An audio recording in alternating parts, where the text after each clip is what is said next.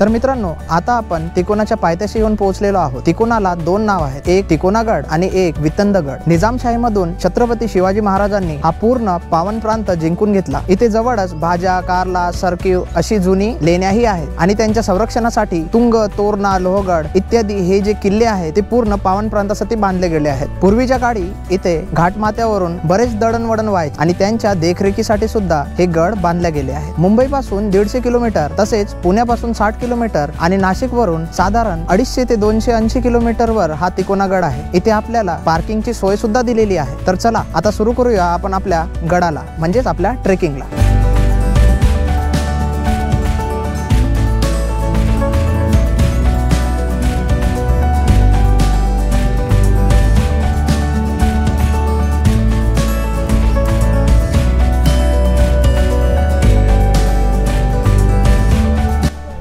होय, छोटू टिंगू। क्या नाम आहे आपका? वो नहीं बताया छोटी मुलगी घाबरलेली आहे आणि ट्रेक सुद्धा करत आहे। बघा लहान लहान मुलं सुद्धा ट्रेक करत आहेत। संपूर्ण गडावर तुम्हाला अशाच पायऱ्या दिसतील आणि हा गड या पायऱ्यांमुळेच चढण्यासाठी इझी झालेला आहे.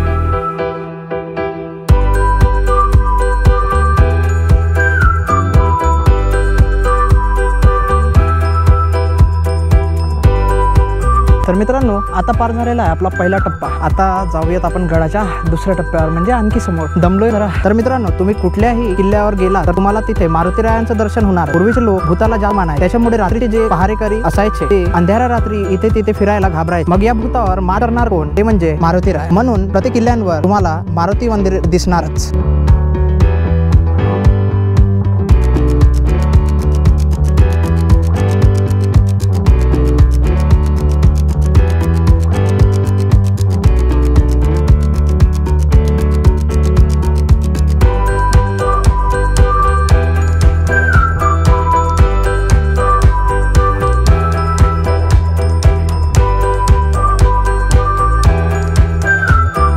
मित्रांनो तुळजाई मंदिरातून जर तुम्ही समोर आलात तर तुम्हाला समोर दोन रस्ते दिसतात. एक डावीकडे जाणारा रस्ता जो मुख्य दराकडे जातो आणि एक उजवीकडे छोटा रस्ता वर जातो. तो रस्ता तिंडेश्वर मंदिराकडे जातो. माझ्या मागे तुम्ही बघू शकता हा जो आहे हा आहे चुन्याचा घना. मित्रांनो पूर्वी किल्ल्याची बांधणी करायला चुन्याचा वापर केला जातो. या चुन्याचा घना कदाचित त्यासाठीच असावा. मित्रांनो वर चढत असताना तुम्हाला इथे माकडे सुद्धा दिसेल. माकडांपासून जरा जपून हातामध्ये कॅमेरा मोबाईल असला की काही खाण्याचा पदार्थ समजून ते तुमच्या जवळ येतील. पण हातामध्ये एखादी काठी वगैरे असू द्या जे तुमचं संरक्षण करेल. हे आहे पिण्याच्या पाण्याच्या टाक यावर कचरा पडू नये म्हणून हे छोटेसे झाडं टाकून ठेवलेलं आहे.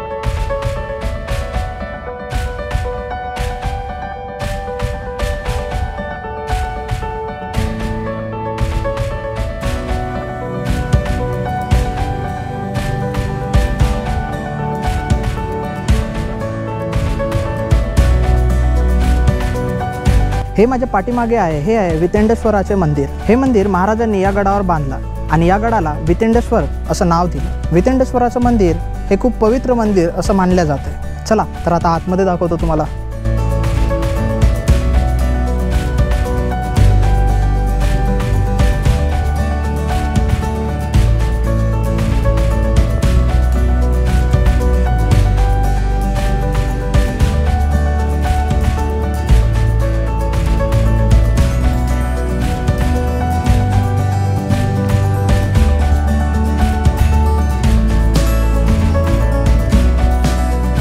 श्री छत्रपती शिवाजी महाराजांनी हा किल्ला निजामशाहीतून जिंकून घेतला. हा प्रांत स्वराज्यात दाखल करून घेतला आणि त्यावर नजर ठेवण्यासाठी नियुक्ती केली ती नेताजी पालघर यांची. ज्या गडाला तीन कोण आहेत तो गड म्हणजे तिकोना गड.